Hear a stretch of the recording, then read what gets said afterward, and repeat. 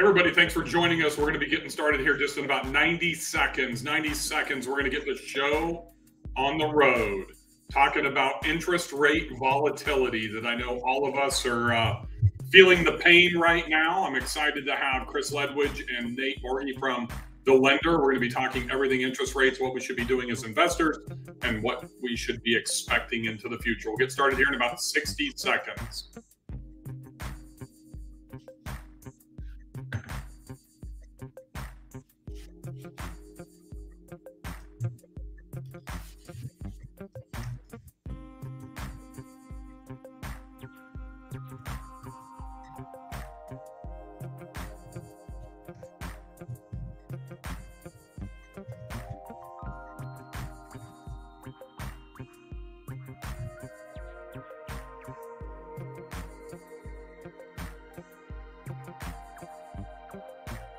Welcome, everybody. If you guys will say hello and let us know what city you're from in the comments, whether you're on YouTube, in one of the Facebook groups, or on the Facebook page, that would be awesome. We're going to get started here in about 30 seconds. 30 seconds.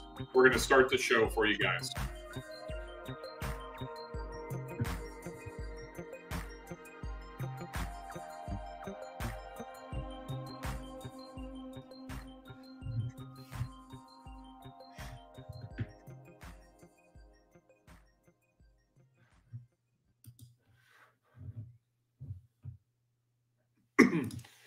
Right, everybody, welcome to Interest Rate Volatility. My name is Bill Faith.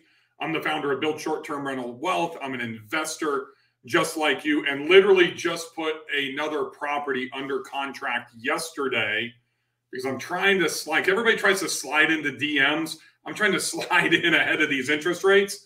And I think I got caught, uh, just like some of you guys have very recently, because they have been skyrocketing very, very quickly. So, I'm really excited about the discussion that we're going to have today uh, because interest rates and all of this stuff just should be affecting.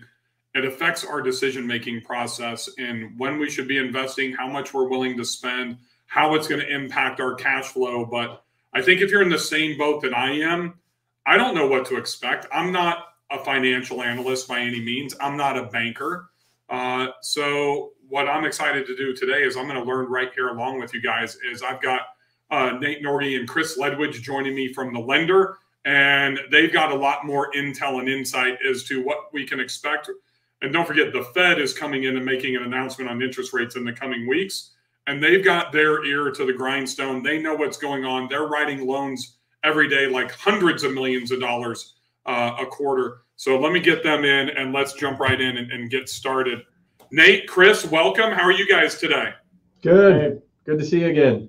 So I'm going to put you guys right on the spot because I know you guys have probably caught a lot of shit from investors that have got caught kind of in that vortex that we've all been going through for about the last 30, 45 days. Uh, Chris, you and I had a discussion about this a couple of days ago. It was very enlightening. Nate, I really appreciate you. You and I have never met uh, before, so I appreciate you being here. Just kind of lead in and shed some light. What's happened up to this point before we get into the future? Well, thanks, and thanks for having us on. Um, I don't know how I drew the short straw talking about rising interest rates. I'd rather talk about our low fees and low down payments, but here we are. right. Um, so basically, what's happened is current market conditions. We saw a 1% change in interest rates over a very short period of time. From January 1st to about February 7th, we had over 100 basis points or 1% change in the short term interest rates, which really drive the non QM market. Um, that is eh, highly unusual and very unexpected. And so, you know, what happened? Why did what happened? How did we get there? Um, you guys all remember the word transitory um, inflation, and uh, we figured out that inflation is not transitory. And so the inflation numbers that have been coming back have been higher than expected. And so the market has to gauge how to react to that. And their reaction is going to be uh, pulling the levers that they have in order to try to combat that inflation And one of those levers is obviously interest rates. So the market is always in a position of trying to predict the future. And the only way to predict the future is through um, Fed meetings and what their talking points are. And so if their talking points get a little bit more, you know, we call it hawkish, if they're a little bit more stringent on what they think they're going to do with interest rates, the, the market reacts to that. And when we had an inflation number come out at almost seven and a half percent non-transitory, the market reacted heavily to that. And overnight or over 30 days, a quick turnaround time, rates increased sharply.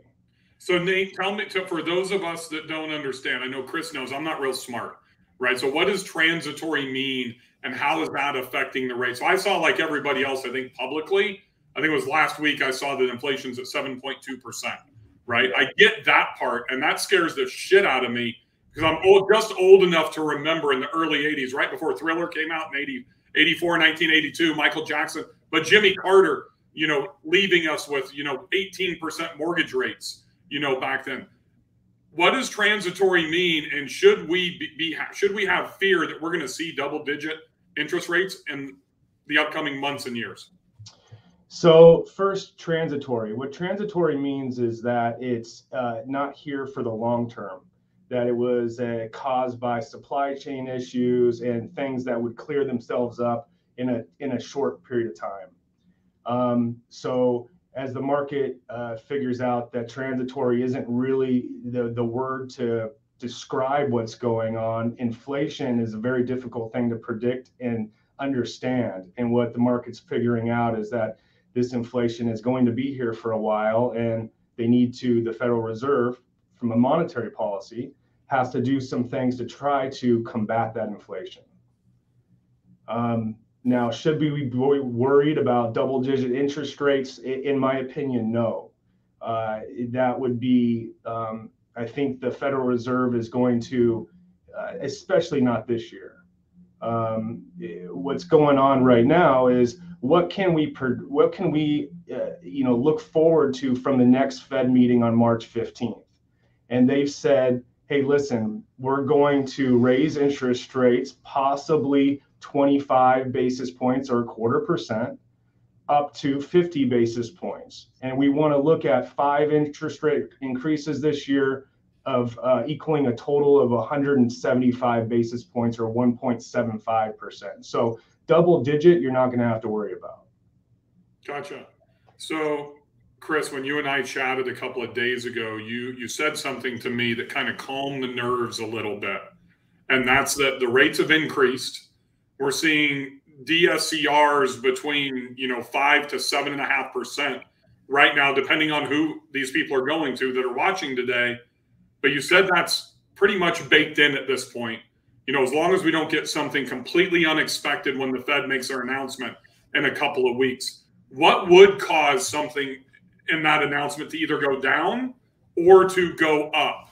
I mean, what we know they're going to add a quarter a point, a half a point, or three quarters or a full point, right? Most likely, I think, isn't the interest rates now based on about the expectation of a quarter point interest? And if that's the case, what what do you expect if we get a half point? Well, I, I think it's anywhere between a quarter and a half a point is what the is what's expected. And I think what's going on is the lending institutions, the mortgage bankers are anticipating worst case scenario of a half a point announcement. Okay, like we're all pretty certain it's going to be no less than a quarter percent, but it could be as much as half a percent. If the Fed comes out on March 15th and they announce a half a percent increase, you shouldn't see a bunch of uh, action on rates as where they are at today. Now, if they come out a little bit south of that uh, half a percent increase, let's say it's 25 basis points, there should be a marginal correction to where the rates are at today. And again, if we come in a little bit north of that half a percent increase, then rates will go up. And that hasn't been baked into the business plans of mortgage bankers in the country right now. So that would make for a bad April, May, and June. Now, I, I don't think that's going to happen. I think, you know, through all the experts and everyone that is, you know, building out the model for the, you know, to get through the 15th is expecting no greater than 50%. And there hasn't been an indication that this first rate hike is going to be greater than uh, uh, 50 basis points or half a percent. So that's where I would land. And Nate, did you say a second ago you think they're looking to get to maybe 175 basis points like through the course of the year, which would be equivalent to like 1.75% interest rate hike? Yeah, and and remember, it's not like for like. So when I say 100, 175 basis points or 1.75 percent, that doesn't mean that the DSCR rates are going to go up 1.75 percent. That's that's the Fed explaining what they're going to do with the their short-term interest rates to fight inflation. Um, but it will mean in, interest rates increase for sure. Now, what does that mean and how much? It's hard to tell at this point because there's so many other factors that go into that discussion. Um, I think it's something where we're just going to have to. It's a, it's going to be a choppy market, just like the equities market is right now. Right. The interest rate market's going to be choppy, and um, but I do think that based on all the data that's coming uh, in right now that we're going to have we're going to have an environment still with low rates through the end of the year. So I don't think it's something where you sit on the sideline and wait for lower rates. You make deals that make sense based on today's rates. So I'm shopping rates from multiple lenders right now, right? I Chris, you know I put a house under contract yesterday. What about these people? And it kind of leads me into Dee Dee Stump. We'll get to her question here in a second but what what should I do? As an example, if I if I'm under contract, like literally within the last 24 hours, or I'm looking to go under contract in the next week, is there anything that we can do as investors, or do we just have to roll with the volatility until we can get locked in?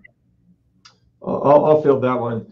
I think you know for those that are engaging in purchase contracts or any type of DSCR transaction here, or expected to in the next 60 days, I say shop multiple lenders, right? Like obviously, you know, it's odd for me to say that. You know, I'm telling people to not just look at the lender, but go look at other lenders and really compare apples to apples. You know, that's really at my core beliefs. You want to compare apples to apples. Any estimate that we provide you, compare that to another estimate and, and put yourself in a position to have an option, right? I, I think that's really all you can do because we do expect, you know, again, whatever happens on March 15th is going to bring clarity to what, you know, the rates are going to look like over the next 90 days. But, you know, the best thing you can do is if you're going to engage in that transaction in the next 60 days, shop multiple lenders. And don't always pay attention to rate necessarily, pay attention to your fees, right? Do an ROI or return on investment analysis on what it cost you to get that loan versus, you know, the interest rate you're being given. I need a buzzer button because I want to like confirm what you just said. Can you say that one more time? Because I think as an investor and what I see from my students here, they're only shopping rate. Yeah. But I've talked to people in the last couple of days to where they're getting quoted two and a half points origination, right? Two points origination. Well, if you're if you're buying a half a million dollar home and you're looking at two and a half points origination, what are we talking there? 15 20 grand in origination fees? Yeah easy. I mean it it, it just it, it climbs really quick. And so by shopping your lenders where we're at you know the lender retail division has historically been equal to or what we call par or an eighth of a percent better as it relates to DSCR loan rates. Because of the compression, I expect us to be on par now. I don't expect that necessarily our rates are going to be an eighth of a percent better consistently, right? I think we're going to be on par. But what you have on the other side over here is your fees, right? That's where we really break away from the crowd. Again, you know, because DSCR loans, 90% of that volume or those loans are originated by brokers. They originate the loan on your behalf. In order for them to be compensated, they must charge you fee. And then they send the loan to us for us to fund for them, right? By, by working with us directly, we're able to consistently charge or anywhere from 50 to 60% less in fee, right? So if you can get, that's why I say confidently go out and shop it, right? And even if you come back to me with an estimate on a DSCR loan that might be an eighth of a percent better, but I'm charging you 60% less in fee, maybe maybe I only charge you 30% less in fee and then give you that same interest rate. It's about finding that equilibrium in there and not just focusing, like you said, on the interest rate, but on the fee right? Because that eighth of percent that you might be shopping for only saves you, let's say, a hundred bucks a month, but I'm saving you 60% on 20,000 in lender fees, that's $12,000. That's a hundred. Don't amortize this over the course of the loan either, right? Amortize this over how long you're going to hold the freaking property. Exactly. So if you if you're exactly. so like I and what people don't understand about me is I have half, roughly forty percent of my properties have some type of penalty, if you will, associated with it. Cost segregation, so recapture on accelerated depreciation, 1031 to where you know if I liquidate that cash and don't 1031 again, then I, I have a, a, a, tax transaction associated with that. DSCR, prepayment, all of those things versus having what I call, you know, real estate, you know, liquidity to where like the house I'm in now, I've got $1.2 million in liquidity. I will never associate anything with that. So I think we got to make strategic decisions.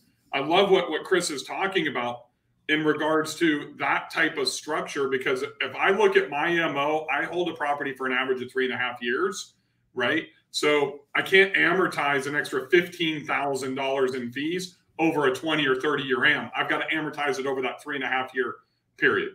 Um, I think that makes total sense. Let me get you guys mind if I get to a couple of questions here? Sure. Um, Dee Dee Brown Stump has an interesting question. What are interest rates today?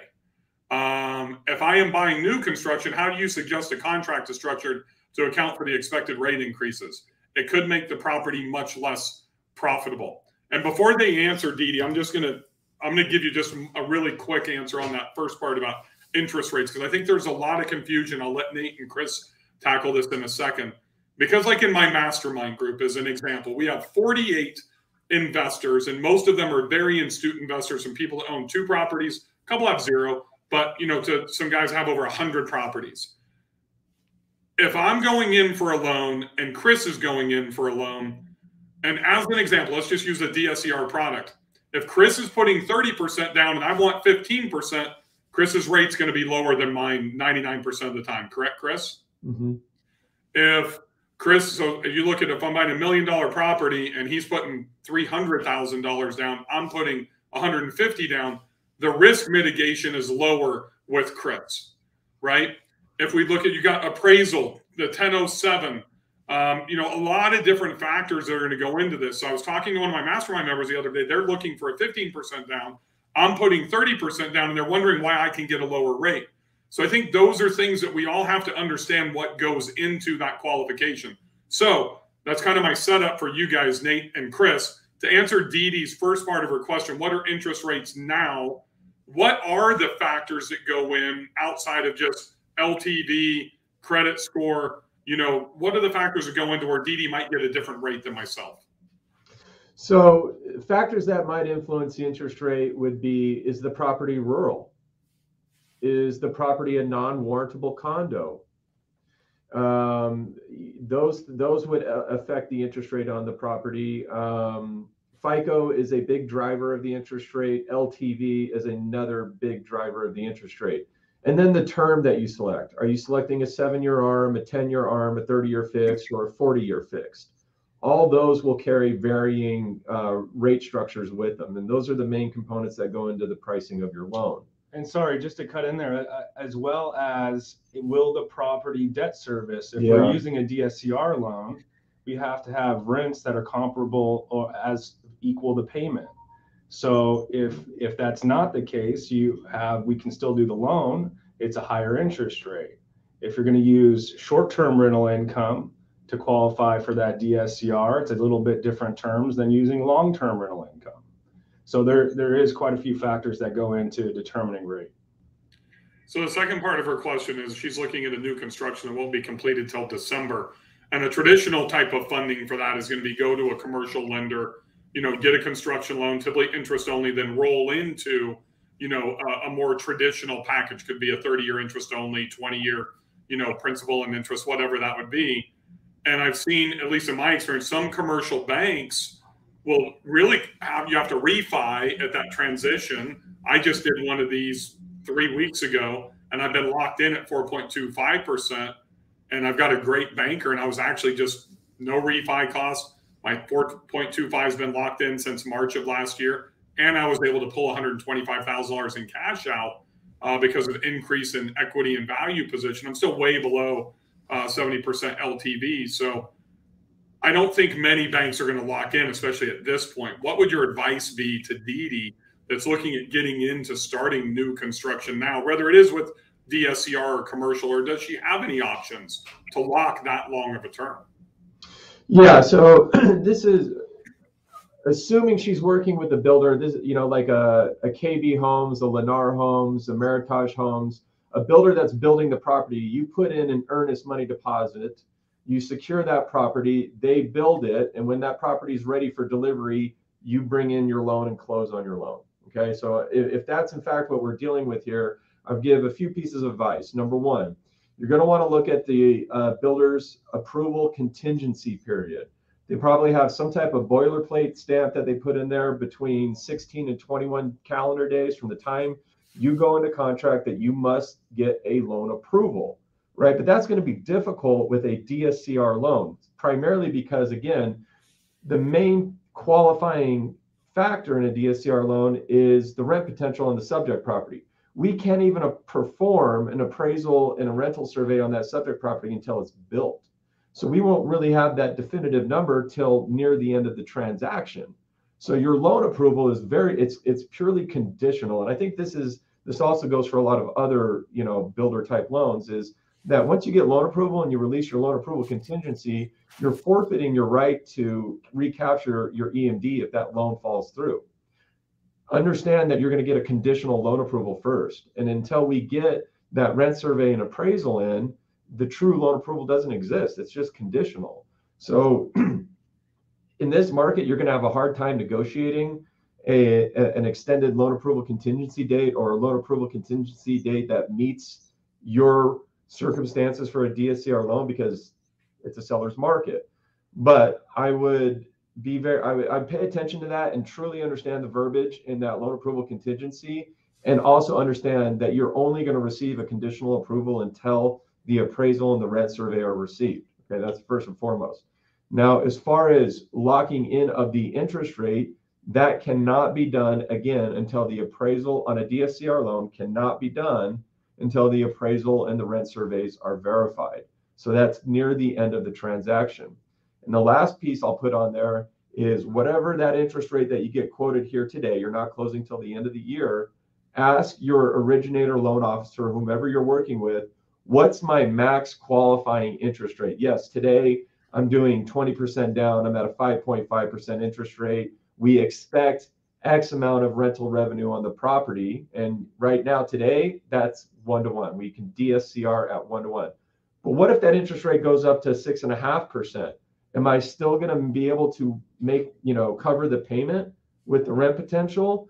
So again, ask for a qual rate, understand your loan approval contingency verbiage, and be very clear about not having uh, what a conditional loan approval is versus a true loan approval. And then I would just add to that, Bill, if it's possible to buy the home with a traditional loan product, let's say a second home loan product, the in-house lender for the builder may have access to a long-term lock on a traditional loan where they can lock in the loan longer than you know from six to 12 months. That's a question that i would that's something i would explore if i was in that situation.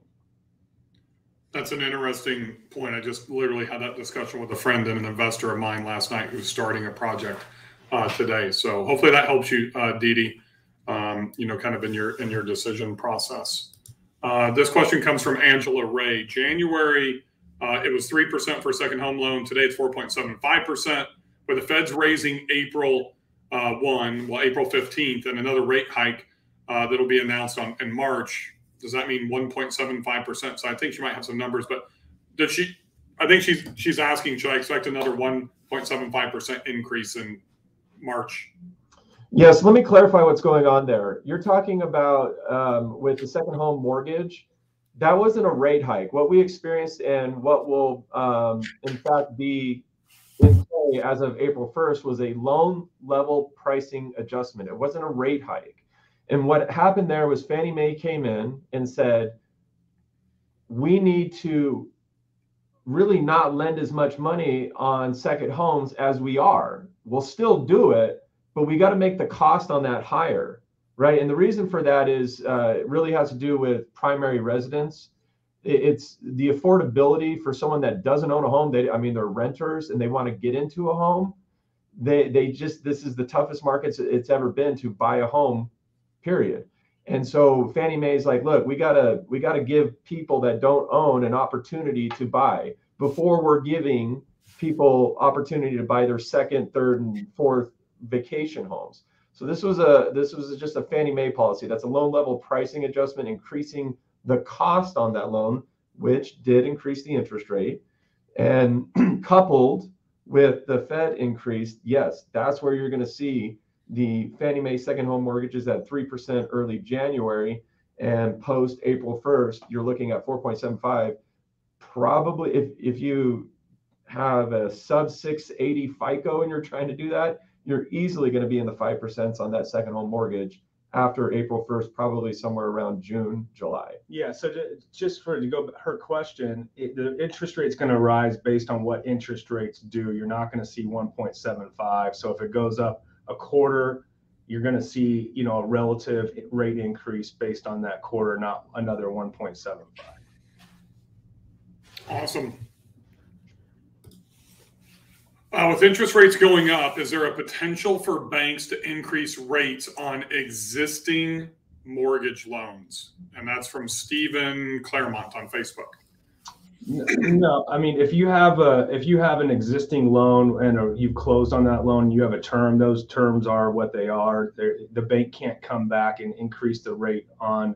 Let's say you have a 30-year fixed at four percent. I think that's the question. If that's the case, they can't come back and raise that interest rate. And what if they have an interest only on an arm?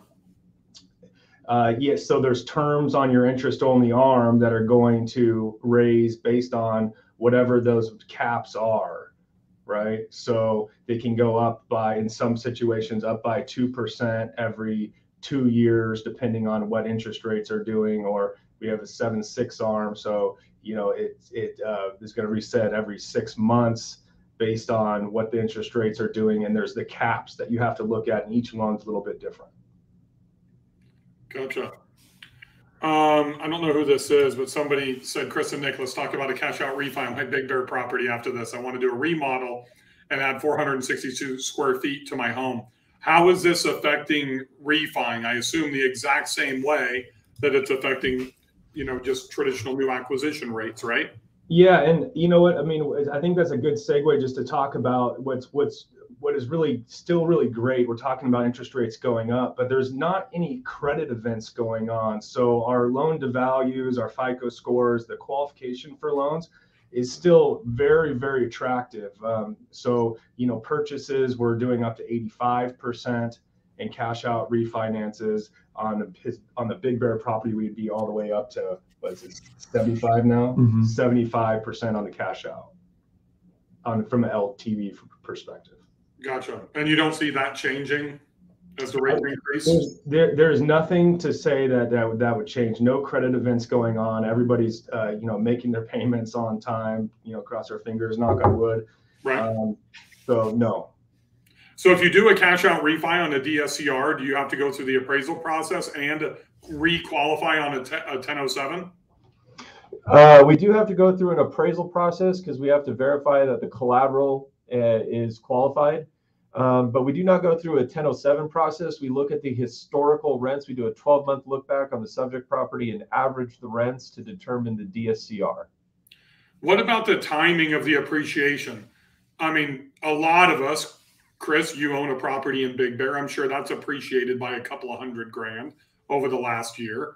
Um, I know I've had properties in my portfolio. What if I bought a property, let's say early 2021, 500,000 bucks? It's worth 800, 850 today. If it's appreciated that fast and it appraises at 850, can I do a cash out refi up to 75%, 80% with you guys at that point? Yes, you can. So when you're talking about rapid appreciation in that context, as long as you're outside the six months from when you acquired the property, we can refinance it at whatever the newly appraised value is. It's only when you're trying to do a cash out refinance transaction within the six months period of acquiring the property that we must use the acquired sales price. So if you're outside six months, we'll use the newly appraised value. So I think that's really important for all of you out there to understand, um, because I've had a couple of people that have come to me that have had that scenario recently, and they've wanted the cash out refi. They've gone to more traditional commercial lenders, and because the rapid appreciation has happened so quickly, they haven't wanted to, you know, do a cash out refi to a 75 or 80 percent LTV. Uh, so you can get that done through a DSCR product. Um, if I cash out refi, do it still traditional like five year prepayment penalties? Um, Correct. Cash out refi. Correct. Gotcha. Um, let's see. Any thoughts on how these rate increases could impact home prices and supply or demand? Yeah. So right now in this country, we have a 5.5 million home deficit, right? There's not enough homes for people out there to own or occupy and live in. And there is no plan in place. Home, new homes being built cannot go at such a rate that's going to make a dent in that 5.5 million deficit. And people are only multiplying there this is going to be an issue that we're going to be watching for the next couple decades until some organized effort comes in to solve the housing crisis in the sense that there's a lack of supply you're not going to see housing prices crumble unless we have a credit event the housing prices will remain in short supply. Now yes interest rates are going to go up buyers are going to drop out of the marketplace. Less people are going to be motivated to sell and upgrade their living situation because they might be in a 2.75% in a house that they're happy enough with but they don't want to now sell and upgrade to that next level home and take an interest rate of high fours even 5% so less inventory will make it to the market less buyers will be in the market but it will not be enough to impact the deficit of 5.5 million Will we see the rapid appreciation that we've seen? No, I, I think that we're going to see at best a plateau or at worst a plateau. And then, you know, there, until there's a global organized solution to make a dent in that housing deficit, it's going to be a long time before we see any major depreciation in the housing market. We would all just have to stop multiplying, but who wants to do that, right? Yeah. No. Um, Jay Sneed asks, can you define a credit event? Uh, it's just a credit event would be so, something that people stop making payments for some reason in a large uh, from a large scale would then would take the investors and the mortgage companies would then have to adjust what they are doing from a FICO LTV uh, you know a qualification standpoint on our loan. So a credit event would be somebody is, is, something is causing people not to make their payments. That would be a credit event causing us to have to change loan program guidelines. Awesome. Uh, brandon sullivan uh, is there any concern for lack of demand from non-qm note buyers on wall street and a volatile interest rate market you know so the what's happened from our perspective and you know from me having my ear to the ground and talking to some of the biggest guys out there from you know credit suisse to pimco is they they want to buy. What they want to know is what the fed policy is going to be so they're making good purchases. And they remember they don't buy just non-qm uh, notes. They buy use they buy car notes. They buy all kinds of uh, financial instruments out there and so if they're getting a better yield somewhere else, then there's going to be less demand in the non-QM market. So to answer the question, I don't think that's going to be an issue. Um, I do think that they're looking for clarity in the market. And and I'll I'll say there's kind of the other side of the coin there in the sense it's not so much that they don't want to buy the non-QM product, but the volume of the non non-QM product over the last uh, really since we came out of COVID from a non-QM standpoint, early 21. So we're about 14 months back in the game on non-QM being bought on the secondary market. The volume of non-QM for sale from lenders has gone up, right? So the so now the buyers are like, well, we'll buy the same amount, but we're only going to buy at say this interest rate now. and that's going to be a driving factor on on that. It's not a matter of do they not want to buy. There's just so much of it. They can be more discretionary with what they are purchasing as it relates to wanting higher yield. Uh, Philip Munoz, for an investor that has never done a DSCR loan, what is the difference in the process of applying for getting a DSCR loan versus a conventional or traditional Fannie and Freddie? The, the main difference is, you know, Fannie Freddie, we're really looking at you as the as the individual and your ability to repay the loan. With a DSCR, we are not looking at your personal ability to pay the loan. We're not looking at your income statements, tax returns, pay stubs, none of that. We are looking at the subject property's uh, ability to debt service the principal, interest, taxes, and insurance, right? We're looking at the rent potential on the subject property as the ability to repay the loan versus your ability. Yeah, much much closer to a, what you would find in a commercial loan, and but more geared toward the individual for investment property. So Philip is a gentleman that's done two DSCRs. What, Chris? I've done two with you in the last 90 days, essentially, I think. Uh, credit score and cash are the two big things, right? So you have to prove that you have the cash. So, like the first time that I did my first loan with the lender, you know, they I and I have mine dispersed across multiple accounts. It's not like I keep three hundred thousand dollars in one account. So I literally had to give them. I think ninety days. We went back and I gave them like four or five or six different bank accounts so they could see the funds that were already there. Well, now I keep all the lender's funds in one account uh, to be able to show it to them. But the other component, Philip, and I don't know where you are on your journey. So, like, I won't have any cash out of pocket on this transaction, and I didn't on the last transaction. So I know they're to. So I talked to them yesterday. Uh, I went under contract last night. I know Deb Stark or whoever is going to be managing my loan. The first thing she's going to ask for is proof of funds.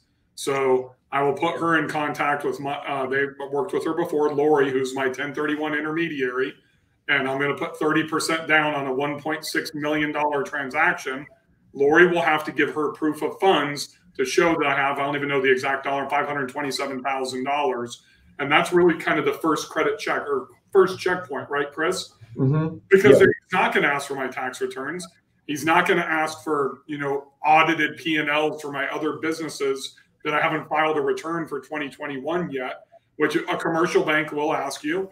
You know, Fannie and Freddie's going to want to see all that. They don't give a shit what my D, my personal DTI is, even though it's virtually nothing you know but a commercial bank even though they say many times they're going to want to you have to make sure that on a commercial and a, a, conventional that you can pay back that loan.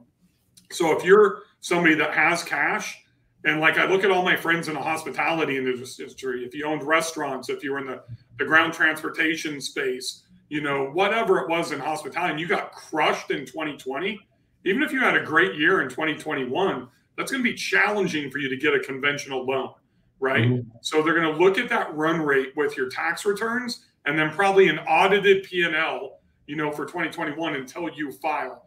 So depending on what your income streams are, Philip, and how much cash you have, it makes it a lot easier. So the other part of this is strategical, as I talked about at the very beginning.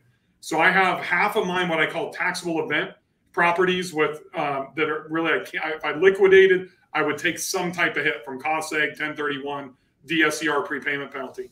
The other parts of my portfolio and my personal residence are the what I call the real estate liquidity that nothing's associated with. I have nothing, no cost segs, no prepayment penalties on DSCRs, nothing. I can liquidate that asset.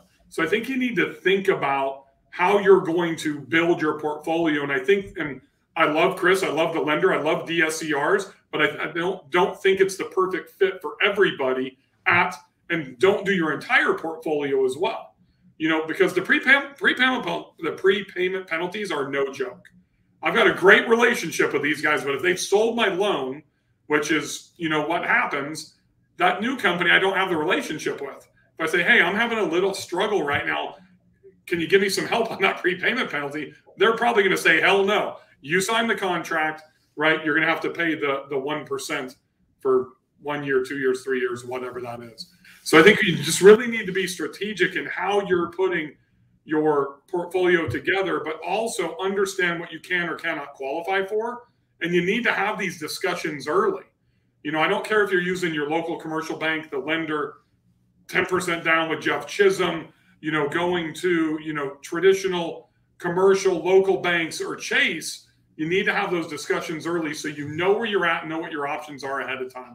And that's one of the things that kind of why I migrated towards the lender, specifically in the DSR DSCR space. There's a lot of bullshit that goes on in that space of funding, and there's a tremendous amount of bait and switch.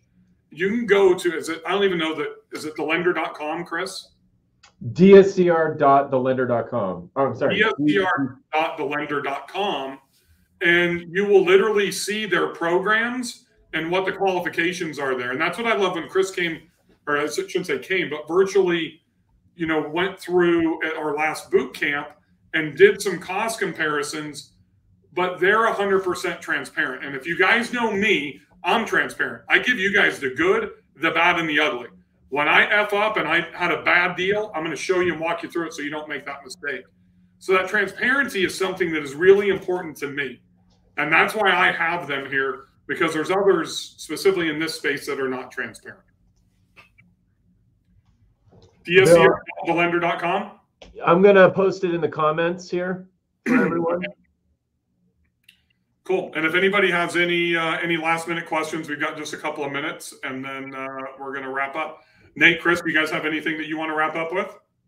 No, I mean I think that's that's all good information right there. Is anything you wanted to? No, I mean, I think that, you know, with these rising interest rates, it can seem scary. I just still think it's one of the best times in history to obtain DSCR loan financing. I'll tell you that. This, you know, the the terms have just never been better. We were we were spoiled this last year with awesome interest rates, but these interest rates are still great. So I wouldn't sit on the sideline because of interest rates. So I'm 48 years old. I'm going to tell my grandchildren one day, hey, you know, Johnny, you remember what? Back in 2021, I had a 3.75 interest rate. And he's going to say, you're so full of shit, Grandpa. Interest rates are 10%. We've never, we're never going to see interest rates like what we saw over the last couple of years ever again. No. And if you have to pay 5% or 6%, ask your parents. They were happy to pay 9 and 10% from 1980 to 1986. It's going to happen again at some point, and we could be on the early cusp of getting there. So yeah. the reason that I've bought, um, have a property under contract, two other properties. If I close in 45 days, I'll be in four months, three new properties, right? Because I want to get in because I'm a believer that six, seven, eight at some point is going to be our new normal, like it was. Everything comes around in our economies, and we're 12, 13 years removed from the last one, which means we're overdue by like about three to four years, right? So yeah. there could be some event, and this could be could be the precipice of that. That's why I think we should get in now. Somebody else, and I've got to go in about 90 seconds to get ready for another um, event, but I want to leave with this. Number one, the lender, they're my DSCRs of choice because they're transparent and they're easy to work with. Two, um, I think you need to understand that just as Chris and Nate stated, and Chris said it very eloquently about what our new home inventory is right now and how how many homes we would we'd have to build seven and a half million homes a year for about 15 years to get us back to like pre-COVID levels. That's not going to happen. Supply chain, labor issues, all that type of stuff, it's impossible. The same thing's going to happen with rent. Somebody asked, how is this interest rate going to affect our rental incomes? You should not be planning on 2023, 24, 25 being the same as what happened in 2021. There's no question there's going to be a leveling off and the demand will diminish slightly. But I do not see the great recession crash that we saw in the real estate industry happening in the short term rental space. And if it does, it's going to have a, a similar effect of what happened in similar markets, in my opinion, in 2009 and 10 and 11, as we saw in COVID the urban areas, the fly-in markets are the ones that will be affected much more than the traditional drive-in vacation rental market. So it's a reason Chris is nodding his head. He's invested in the Big Bear. Think about if you Big Bear's outside of Los Angeles, it's like an hour no traffic from LA, right? Yeah. But he's drawing off of Los Angeles, Orange County, San Diego, Temecula, Palm Springs, Bakersfield, Ventura. He has this huge DMA to go to Big Bear. Why do you guys think Gatlinburg and the Smokies does so well? And I'll tell you. Why do you think I just invested into North Carolina? Because it's another drive-in market. It's why I've got five million dollars deployed in Gulf Shores, Alabama. So pick your markets wisely and find the places like Cape San Blas that I said on the. I didn't say it on the broadcast the other day. I posted in there. That's where I got this sub seven hundred thousand dollar uh, beachfront property for a client of mine. That's why I'm investing in North Carolina in a second tier market as opposed to going into the Smokies or Blue Ridge, where all these real estate agents and the demand have just driven up the pricing, right? So invest wisely, make sure that you're financing wisely as well. And let's give Chris and Nate a big round of applause. Give them a like button. I really appreciate you guys jumping on with me to uh, share your insights from the inside uh, with all of our investors as to what's happening. Uh, thank you to the lender and Chris and Nate. Thank you. Thanks, guys. Have a good day. All right, everybody, have a wonderful day. We'll see you guys soon.